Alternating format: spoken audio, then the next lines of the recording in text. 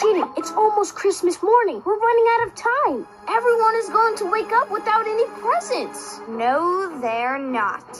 We're super kitties. We don't give in and we don't give up. It's time we catch that cat burglar once and for all. Come on!